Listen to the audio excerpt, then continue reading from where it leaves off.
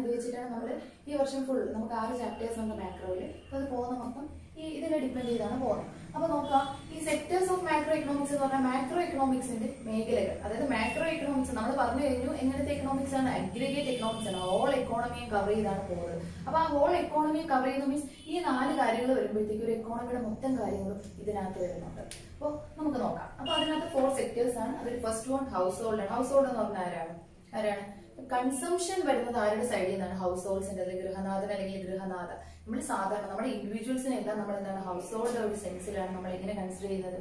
എക്കണോമിക്സിൽ consider ചെയ്യുന്നത്. അപ്പോൾ ഈ കൺസംഷൻ ആക്ടിവിറ്റീസ് എല്ലാം വരുന്നത് ഹൗസ് ഹോൾഡിന്റെ സൈഡിൽ നിന്നാണ് അപ്പൊ കൺസംഷൻ എന്ന് പറഞ്ഞു കഴിഞ്ഞാൽ എന്താണ്? ഉപഭോഗം. നമ്മൾ നമ്മുടെ കയ്യിലുള്ള ക്യാഷ് കൊണ്ട് കൊടുത്ത് ഈ പ്രൊഡക്ഷൻ ഈ പ്രൊഡക്ഷൻ നടത്തുന്നതൊക്കെ തന്നെ എന്താണ്? അവർക്ക് പ്രോഫിറ്റ് ആർക്ക് കിട്ടണം? ഓർഗനൈസറിന് കിട്ടണം. അയാൾ ആ പ്രൊഡക്ഷൻ നടത്തി ഈ സാധനങ്ങൾ കൊണ്ട് വിൽക്കുന്നത് എന്താണ്? ആ ആൾക്കാർ ഇത് വന്ന് വാങ്ങും എന്നുള്ള ലക്ഷ്യത്തിലാണ്. അപ്പൊ അങ്ങനെയാണ് അയാൾക്ക് പ്രോഫിറ്റ് കിട്ടുന്നത്. അപ്പൊ ഈ പ്രൊഡക്ഷൻ പർപ്പസിൽ ജോലി ചെയ്യുന്ന ആൾക്കാർ തന്നെയാണ് ഈ ഹൗസ് ഹോൾഡ്സ് നമ്മൾ ഈ പറയുന്നത് ഇവർ തന്നെ പല ഫോമിൽ പലയിടത്ത് ജോലി ചെയ്യുന്നു. ആ കിട്ടുന്ന ക്യാഷ് കൊണ്ടുവന്ന് സാധനങ്ങൾ വാങ്ങുന്നു. അപ്പൊ ക്യാഷ് കൊടുത്ത് അവർ അവരുടെ ആവശ്യങ്ങൾക്ക് വേണ്ടി സാധനങ്ങൾ വാങ്ങുന്നു. അതിനെയാണ് നമ്മൾ കൺസംഷൻ അഥവാ ഉപഭോഗം എന്ന് പറയുന്നത്. അപ്പൊ ഈ കൺസംഷൻ ആക്ടിവിറ്റീസിൽ ഏർപ്പെടുന്ന ഇൻഡിവിജ്വൽസിനെ അല്ലെങ്കിൽ ഗ്രൂപ്പ് ഓഫ് ഇൻഡിവിജ്വൽസ് അവർ ഒരുമിച്ച് കൂട്ടമായിട്ടോ ഒറ്റയ്ക്കോ കൺസംഷൻ നടത്തുന്നെങ്കിൽ ആ പർപ്പസ് ആണ് എന്താണ് ഹൗസ് ഹോൾഡ് സെക്ടറിൽ വരുന്നത്. അപ്പൊ അത് അവർ ഈ ഒരു വലിയ വിഭാഗം ആൾക്കാർ ഇല്ലെങ്കിൽ എക്കോണമിയിൽ യാതൊരുവിധ ഫംഗ്ഷനും നടക്കത്തില്ല. സാധനങ്ങൾ വാങ്ങാൻ ആളില്ലെങ്കിൽ അവിടെ ഇക്കോണമിയിൽ എന്താണ് യാതൊരു തരത്തിലുള്ള പ്രോഗ്രസും അവിടെ ഉണ്ടാവത്തില്ല. അങ്ങനെ ഒരു സിറ്റുവേഷൻ നമുക്ക് ചിന്തിക്കാനേ പറ്റത്തില്ല. അപ്പൊ ഹൗസ് ഹോൾഡ് ഹൗസ് ഹോൾഡിന്റെ പർപ്പസ് എന്തൊക്കെയാണ് നമുക്കറിയാം. അപ്പൊ ഈ ഹൗസ് ഹോൾഡ് തന്നെയാണ് അവരുടെ സേവനങ്ങൾ പ്രൊവൈഡ് ചെയ്യുന്നത് അല്ലെ? ഫാക്ടേഴ്സ് ഓഫീസ് ഞാൻ പറഞ്ഞു ഇവർ തന്നെയാണ് ലേബേഴ്സ് ഇവരുടെ സർവീസ് ഇവർ നൽകുന്ന സേവനം എന്താണ്? ഇവരുടെ ആ കപ്പാസിറ്റി എന്താണ്? ഇപ്പൊ ഫിസിക്കൽ ഫിസിക്കലി ഇപ്പൊ അതായത് എന്താണ്? ഫിസിക്കലി ജോലി ചെയ്യുന്നവരുണ്ട് മെന്റലി ജോലി ചെയ്യുന്നവരുണ്ട് ഇല്ലേ? പലതരത്തിൽ അത് നമ്മുടെ നമ്മൾ ഏത് മേഖലയിലാണോ നമ്മൾ ജോലി ചെയ്തത് അതിന്റെ അതിന് നമ്മുടെ കഴിവ് തെളിയിക്കണം അപ്പൊ ഓരോരുത്തരും ഓരോ ഇൻഡിവിജ്വൽസും അവരുടെ എന്താണ് ആ സർവീസ് പ്രൊവൈഡ് ചെയ്യുന്നുണ്ട്. അപ്പൊ സർവീസ് പ്രൊവൈഡ് ചെയ്യുന്നുണ്ട് കൺസംഷൻ ആക്ടിവിറ്റീസിൽ എൻഗേജ് ചെയ്യുകയും ചെയ്യുന്നുണ്ട്. അവരെയാണ് നമ്മൾ ഹൗസ് ഹോൾസ് എന്ന് പറയുന്നത്. അപ്പൊ അവർ കൺസംഷൻ സാധനങ്ങൾ വാങ്ങുന്നു അവരുടെ കയ്യിലുള്ള ക്യാഷ് കൊടുത്ത് സാധനങ്ങൾ വാങ്ങുന്നു. തിരിച്ചവർ എന്ത് ചെയ്യുന്നു? ആ അവരുടെ സർവീസ് ആർക്ക് കൊടുക്കുന്നു? ആർക്കാണ് കൊടുക്കുന്നത്? ആ ആരാണോ അതായത് ഓർഗനൈസറിന് കൊടുക്കുന്ന. ഒരു ഫോമിൽ അല്ലെങ്കിൽ മറ്റ് സ്വന്തമായിട്ട് ബിസിനസ് സ്ഥാപനങ്ങൾ എവിടെയാണോ അവരുടെ കഴിവ് അവർ അവിടെ കൊടുക്കുന്നു. അതിന് പകരമായിട്ട് അവർക്ക് എന്ത് കിട്ടുന്നു? ഇൻകം അഥവാ വേജ് കിട്ടുന്നു. അത് ഉപയോഗിച്ച് അവർ കൺസംഷൻ ആക്ടിവിറ്റിയിൽ ഏർപ്പെടുന്നു. നെക്സ്റ്റ് ഈസ് ഫോം അപ്പൊ ഇതാണ് ഫസ്റ്റ് സെക്ടർ അതായത് ഒരു രാജ്യത്തെ കുറിച്ച് ഫോക്കസ് ചെയ്ത് പറയുക രാജ്യത്തുള്ള മൊത്തം ജനങ്ങൾ ഏതിന് വരുന്നു? ഹൗസ് ഹോൾഡിനകത്ത് ഇൻവോൾവ് ആണ് അവരവരുടെ സേവനങ്ങൾ പ്രൊവൈഡ് ചെയ്യുകയും ചെയ്യുന്നു. നെക്സ്റ്റ് ഈസ് ഫോം ഫോം എന്ന് പറഞ്ഞാൽ എന്താണ്? സിംഗിൾ പ്രൊഡക്ഷൻ യൂണിറ്റ് ആണ്. ഒരു ചെറിയ ഉൽപാദന എന്താണ്? ആ ഘടകമാണ് ഫോം എന്ന് പറഞ്ഞു കഴിഞ്ഞാൽ. അപ്പോൾ ഈ ഫോം ഗ്രൂപ്പ് ഓഫ് ഫോംസിന് നമ്മൾ ഇൻഡസ്ട്രീസ് എന്ന് പറയും. അപ്പൊ ഈ ഫോംസിന്റെ സെക്ടർ അവരുടെ ജോലി എന്താണ്? ഉൽപാദനം നടത്തുക. ആ ഉൽപാദനം നടത്തുന്നു. ഈ ഉൽപാദനം വഴി എന്താണ് പുതിയ പുതിയ ആൾക്കാർ ജോലിക്ക് എടുക്കുന്നു അവർക്കെല്ലാം തൊഴിൽ കൊടുക്കുന്നു. ഈ ഉൽപാദനം നടത്തി ആ സാധനങ്ങൾ എന്താണ് മാർക്കറ്റിൽ വിൽക്കാൻ വെക്കുന്നു അപ്പൊ ഇതുവഴി ഇവർ എന്ത് ചെയ്യുന്നു ഗവൺമെന്റിന് ടാക്സും കാര്യങ്ങളൊക്കെ കൊടുത്തോണ്ടാണ് ഈ എന്ത് ചെയ്യുന്നത്? പ്രൊഡക്ഷൻ നടത്തുന്നത്. അപ്പോൾ ഹൗസ് ഹോൾസും ടാക്സും ഒക്കെ എന്താണ്? ടാക്സും അതുപോലെയുള്ള ഒരുപാട് കാര്യങ്ങൾ എന്ത് ചെയ്യുന്നുണ്ട്? എക്സ്ട്രാ ചെയ്യുന്നുണ്ട്. അതൊക്കെ നമ്മളിവിടെ പഠിക്കുന്നുണ്ട്. അപ്പൊ അതൊക്കെ ടാക്സ് കൊടുക്കുന്ന ആർക്കാണ് ഗവൺമെന്റിനാണ്. ടാക്സ് എന്താണ്? Tax is a compulsory payment paid by every citizens to the government without any remuneration. തിരിച്ചൊന്നും വിത്തൗട്ട് എനി എക്സ്പെക്ടേഷൻ തിരിച്ചു വന്ന്. പ്രതീക്ഷിക്കാതെ നമ്മൾ ഗവൺമെന്റിന് നിർബന്ധിതമായും കൊടുക്കേണ്ട ഒരു എന്താണ് തുകയാണ് നികുതി അഥവാ ടാക്സ് എന്ന് പറയുന്നത്. അപ്പൊ ഇവർ രണ്ട് രണ്ട് ഭാഗം ഈ ഹൗസ് ഹോൾഡ് സെക്ടറും ഫോംസ് ഈ ഒരു രണ്ട് സെക്ടറും ഗവൺമെന്റിന് ടാക്സും കൊടുത്താണ് പോകുന്നത്. ഇൻകം ടാക്സ് ഉണ്ട്. നമുക്ക് ഡിഫറെന്റ് ടൈപ്സ് ഓഫ് ടാക്സ് ഉണ്ട് നമ്മൾ ഈ വർഷം പഠിക്കുന്നുണ്ട്. അതെല്ലാം നെക്സ്റ്റ് ഈസ് ഗവൺമെന്റ് സെക്ടർ എന്താണ് ഗവൺമെന്റ് സെക്ടർ നമുക്കറിയാം. എല്ലാ കാര്യങ്ങളും രാജ്യത്തിന്റെ ഫുൾ കാര്യങ്ങളെ റെഗുലേറ്റ് ചെയ്യുന്നു. ഏഹ് എല്ലാ ഗവൺമെന്റ് എന്താണ്? വെൽഫെയർ മോട്ടീവാണ് ലാൻഡ് ഓർഡർ മെയിന്റെയിൻ ചെയ്യുക മാത്രമല്ല വെൽഫെയർ ഓറിയന്റഡ് ആയിട്ട് എല്ലാ കാര്യങ്ങളും ഈ പറഞ്ഞ ഹൗസ് ഹോൾഡിന്റെ കാര്യങ്ങളാണെങ്കിലും ഫോമിന്റെ കാര്യമാണെങ്കിലും ഫുള്ളി മാനേജ് ചെയ്ത് എല്ലാം ഏകോപിപ്പിച്ചുകൊണ്ട് പോകുന്നത് ആരാണ്? ഗവൺമെന്റ് സെക്ടറാണ് അപ്പൊ ഗവൺമെന്റിന്റെ റോൾ ഇമ്പോർട്ടന്റ് ആണ്. ഗവൺമെന്റ് എന്ത് എന്തിലൂടെയാണ് ഗവൺമെന്റ് കാര്യങ്ങൾ നടപ്പാക്കുന്നത്? ഗവൺമെന്റിന്റെ പോളിസി നമ്മൾ പറയുന്ന പേരാണ് ഫിസിക്കൽ പോളിസീസ് ഗവൺമെന്റും അതുപോലെ നേരത്തെ പറഞ്ഞ ആർ ബി ഐ അതായത് സെൻട്രൽ ബാങ്കും കൂടെയാണ് അവർ ഒരുമിച്ചാണ് ഇക്കോണമി സ്റ്റെബിലൈസ്ഡ് ആക്കുന്നത് ബാലൻസ്ഡ് ആക്കുന്നത്. പ്രശ്നങ്ങളൊക്കെ പരിഹരിക്കുന്നത് സാമ്പത്തിക മേഖലയുടെ കാര്യങ്ങൾ എന്താണ്? ബാങ്കും അതുപോലെ ഗവൺമെന്റും ഒരുമിച്ച് പ്രവർത്തിച്ചാണ് എന്ത് ചെയ്യുന്നത്? ആ കാര്യങ്ങൾ നടപ്പിലാക്കുന്നത്. ഇപ്പൊ ഗവൺമെന്റ് എന്താണ്? ടാക്സിലൂടെ ഗവൺമെന്റിന്റെ വരുമാനം കണ്ടെത്തും. തിരിച്ചെന്താണ് സബ്സിഡിയും മറ്റ് പലതരത്തിലുള്ള ആനുകൂല്യങ്ങൾ അങ്ങോട്ട് ജനങ്ങൾക്ക് ഫോംസിനൊക്കെ പ്രൊവൈഡ് ഇൻസെന്റീവ്സും പലതരത്തിലുള്ള ആനുകൂല്യങ്ങൾ അങ്ങോട്ട് കൊടുക്കാറുണ്ട്. അപ്പൊ ഇത് മൂന്ന് സെക്ടേഴ്സ് ഓൾമോസ്റ്റ് ഒരു രാജ്യത്തിന്റെ അകത്ത് ദാറ്റ് മീൻസ് എന്താണ്?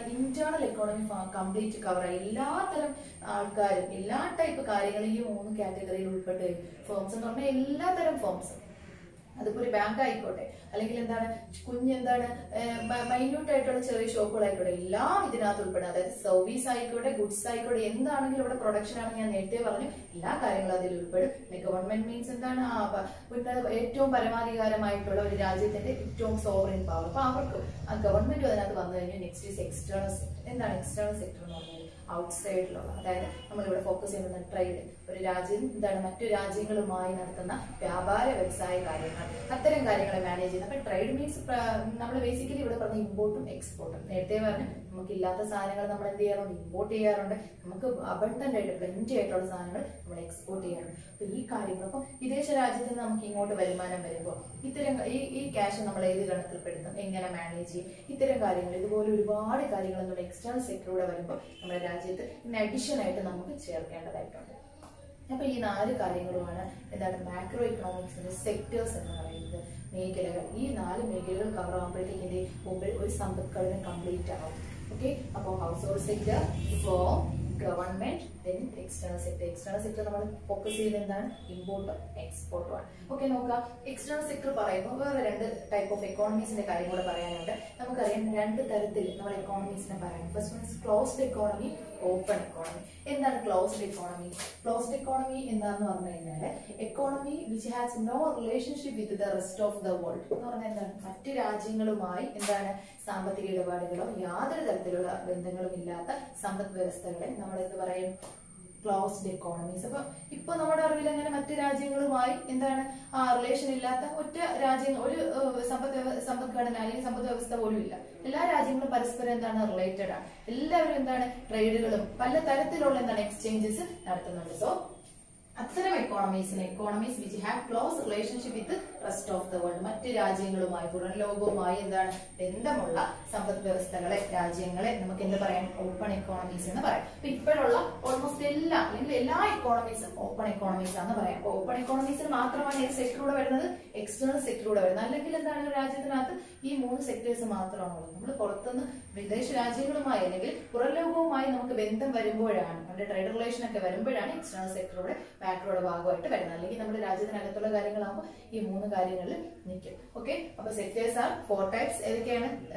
Household sector firm then government last one is external sector okay അപ്പൊ ഈ ചാപ്റ്റർ ഇത്രയുമാണ്. ഇപ്പൊ നമ്മൾ ഇൻട്രൊഡക്ഷൻ ടു മാക്രോ എക്കണോമിക്സ് ആണ് പഠിച്ചത്. അപ്പൊ ഈ ചാപ്റ്ററിൽ നമ്മൾ എന്തൊക്കെ പഠിച്ചു എന്ന് പറഞ്ഞു കഴിഞ്ഞാൽ ആദ്യം മാക്രോ എക്കണോമിക്സ് ജസ്റ്റ് നമ്മൾ നമ്മൾ ഒരു ബേസിക് എവല്യൂഷൻ ഓഫ് എക്കണോമിക്സ് പറഞ്ഞപ്പോൾ തന്നെ മൈക്രോ മാക്രോ എന്താണെന്നൊക്കെ പറഞ്ഞു. ആ ഡീറ്റെയിൽസിന്റെ കൂടെ തന്നെ ഇപ്പൊ ബേസിക്കലി എക്കണോമിക്സിന്റെ ഫാദർ ആഡം സ്മിത്ത് ആണ് ഇനി അത് കഴിഞ്ഞിട്ട് രണ്ട് ബ്രാഞ്ച് ഓഫ് എക്കണോമിക്സ് പറഞ്ഞു. അതിൽ മൈക്രോ മൈക്രോയുടെ ഫാദർ ആൽഫ്രഡ് മാർഷൽ ആണ് നമ്മളിവിടെ ഇപ്പോൾ ഹാൻഡിൽ ചെയ്യുന്നത് മാക്രോ എക്കണോമിക്സ് ആണ്. ഇപ്പൊ father of macro economics is J M Keynes John Maynard Keynes അപ്പൊ കെയ്ൻസ് ആണ്. അപ്പൊ അത് കഴിഞ്ഞിട്ട് നമ്മൾ എന്താ പറഞ്ഞു?